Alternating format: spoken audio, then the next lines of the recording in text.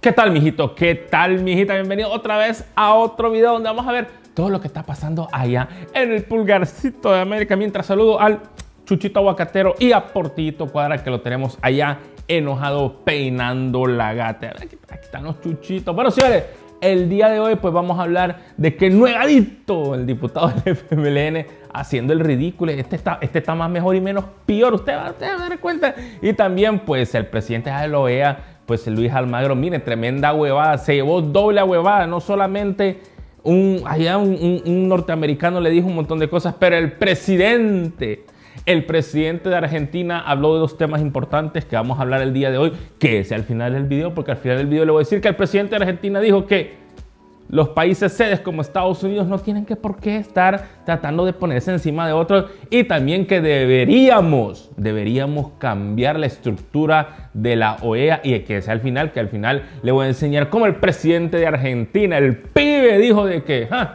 hay que cambiarlo. ¿eh? Así que, que es el final del video porque tremenda huevada se llevó el Luis Almagro. Pero bueno, señores, miren, ve, ustedes van a creer de que la Tania Pastor le dio tremenda revolcada y troleada a Marvin. ¿Se acuerdan Marvin? Aquel que, el, que, el que quiere demandar a 5TV. Tremenda troleada le dio en, un, en el programa en vivo cuando le dijo, hey vos, tranquilízate vos, que el Marvin no va a ser que te demande, ya que Marvin anda demandando a todos. Y miren ahí ustedes la tremenda troleada que le dio la Tania Pastor al pobre cipote de Marvin. Creo que calificaste el dinero de la cooperación. Sí, algo así dijiste, ¿no? Nunca considera. No recuerdo. No recuerdo, ya te lo voy a... Y de hecho está posteado. Tú dijiste de que eh, 1.900 millones de dólares son una Ya te va a porquería. demandar Marvin. no, ah, no, aquí no te... Yo, yo sí me Ah, preparo bien. broma. La Ya te va a porquería. Marvin. No, ah, no, aquí no te... Yo, yo sí me... Tania Pastor obviamente estaba bromeando, pero en la misma bromeada le dio tremenda troleada vos, que Marvin a, to- a todo mundo quiere demandar porque nadie quiere, imagínate vos, imagínate vos, que nadie puede hablar del Marvin. Pero bueno, señores, miren, allá en la, ¿se acuerdan una marcha que hubo hace como unos tres días? Allá miren, ve, es que todos le echan la culpa a Bukele. Ahí van a ver un men, ahí yo, yo no sé ni lo que es el men, guerrillero, yo no sé lo que es, pero echándole la culpa a Bukele que porque la que, que porque la canasta básica y que Bitcoin se va para cero y que Bad Bunny va para El Salvador. Y mire ahí todo lo que inventan estos memes. todas las estadísticas apuntan a que hay un proceso de estanflación, o sea que hay un estancamiento político y económico y hay una inflación económica en El Salvador. Hay una inflación ya que todos los productos que contiene la canasta básica alimentaria han sufrido un exagerado aumento, al punto que muchas de nuestras familias en grandes franjas del territorio nacional están a punto ya de comer un tiempo de comida al día. En algo otros, pues con suerte, comen dos tiempos. No es cierto el impacto que hemos sufrido los trabajadores por cuenta propia,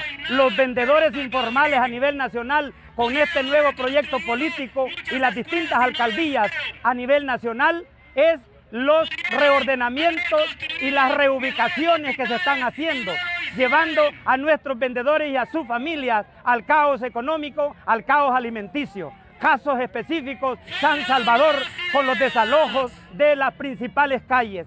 Casos específicos, Santa Tecla con los desalojos de los vendedores de las principales calles. Caso eh, puntual, Soyapango, que ya la alcaldesa Nercy Montano ha anunciado que viene toda una escalada de reubicación de vendedores, a lo cual nos oponemos rotundamente mientras no hayan alternativas viables, alternativas que tengan oportunidad.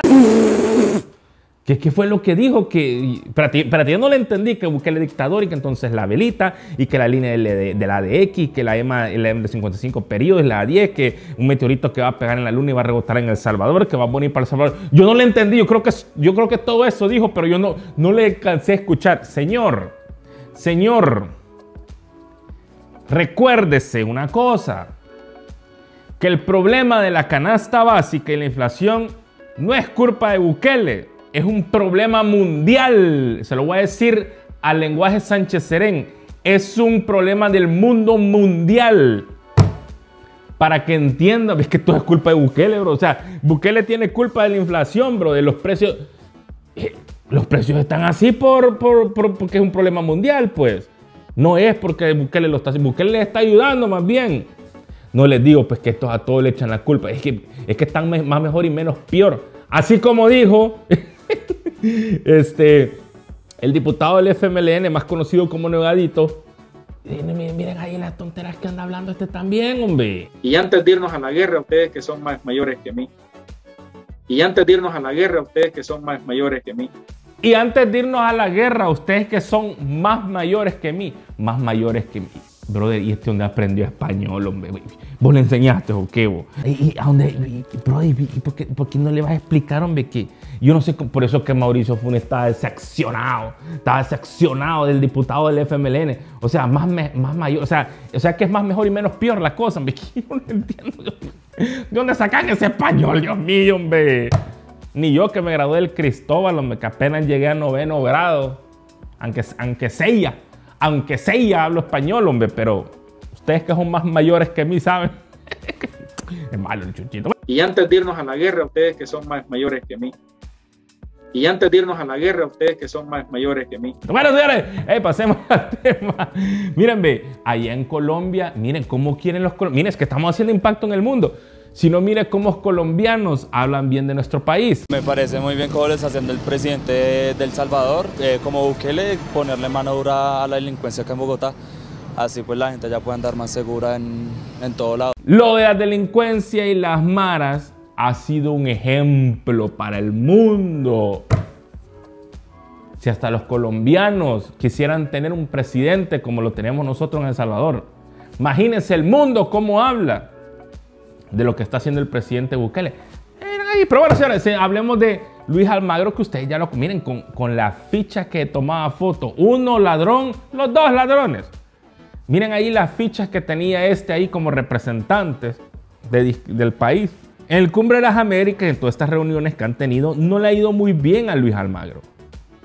Presidente Bukele fue los primeros, ¿se acuerda que dijo? Este es un corrupto de tiempos. Bueno, señores, hoy se une el presidente de Argentina que le dijo sus verdades. Bueno, dijo dos cosas interesantes. Le tiró a Estados Unidos. Ya, ya le voy a enseñar. El, presidente de Argentina le tiró a Estados Unidos. Y le tiró a Luis Almagro diciéndole de que deberían de sacarlo mejor. Miren aquí, pues, como lo dijo bien el presidente de Argentina. Definitivamente hubiésemos querido otra cumbre de las Américas. El silencio de los ausentes nos interpela. Para que esto no vuelva a suceder, quisiera dejar sentado para el futuro que el hecho de ser país anfitrión de la cumbre no otorga la capacidad de imponer el derecho de admisión. Ahí le tiró a Joe Biden. Prácticamente le dijo, el hecho de que ustedes sean países anfitriones no quiere decir que ustedes decidan quién tiene que ir allá y quién no. Porque Estados Unidos se cree la policía del mundo. Ellos se creen de que la política, pues de Estados Unidos estoy hablando, se creen de que pues, el gobierno actual de los Estados Unidos se cree de que ellos son los que mandan. Y aquí le dijo, le dijo, ajá, ustedes por qué tienen que decir quién viene y quién no. Ah, se dan cuenta. Pero bueno, la clave fue cuando él dijo de que deberíamos de cambiar a la OEA y los que están ahí, los dirigentes. Si no, mira aquí cómo bien lo dijo, bien lo dijo. Permítanme señalar la urgente necesidad de reconstruir las instituciones que fueron pensadas precisamente para integrarnos. La OEA, si quiere ser respetada y volver a ser la plataforma política regional para la cual fue creada, debe ser reestructurada removiendo de inmediato a quienes la conducen. ¡Baijuelule! ¿Qué quiso decir el presidente de Argentina con eso? debemos de remover a los que están conduciendo a la OEA. Mm, papaito, es que ya el mundo se está dando cuenta que Luis Almagro pues no es el que tiene que estar ahí y que el propósito de la OEA no se ha cumplido, hombre. No se ha cumplido. Quieren hacer lo que ellos quieren con nuestros países. El primero que le sacó todos los trapitos fue el presidente Bukele. Ahora se une el presidente de Argentina y esto va a crear más bulla. Bueno, le fue tan mal a Luis Almagro que allá mientras él estaba dando su, su discurso ahí, un norteamericano le empezó a decir sus verdades. Pues si no, miren, se los voy a acordar. Luis Almagro, you have blood on your hands. Because of your lies, there was a coup in Bolivia, a coup against the democratically elected government And that dictatorship that you helped install massacred 36 people. And now you come here and dare, and dare to lecture about media freedom, about democracy, about human rights. You have no shame. You're a murderer and you're a puppet of the United States. A puppet of the United States. Bueno, señores, y así como ustedes lo están viendo, Luis Almagro cobardemente sale de la cumbre, cobardemente sale corriendo sin dar declaraciones, ya que le dieron una tremenda huevada, no solamente el presidente de Argentina, pero también un joven estadounidense lo destapó y lo único que tuvo que hacer es agachar la cabeza y como cobarde salir corriendo, ya que ustedes saben de que este, estos son corruptos, pues, hombre, y el presidente Bukele los viene a destapar, hombre. Bueno, señores, déjenme saber usted qué opina. La verdad es que yo siento de que los efectos de eh, a ver, de lo que el presidente Bukele ha estado haciendo y ha hablado mucho de las organizaciones internacionales, yo creo que ya se están dando los frutos, o sea, ya está saliendo, ya los presidentes no están teniendo ese miedo, ya de a poco nos damos cuenta de que ya se, está aclarando, vaya, quiénes son los corruptos, pues a Estados Unidos le ha ido mal, pues a Luis Amaro le ha ido mal. Bueno, señores, déjenme usted saber qué opina. Hasta aquí les dejo el video, mamadita, papayito. Gracias por haberlo visto, se lo agradezco. Y recuérdese una cosa de que Cristo el Señor está esperando que tú vengas a recibirle, Señor. Y aquí el chuchito, mira el chuchito aguacatero dice, pues, salud.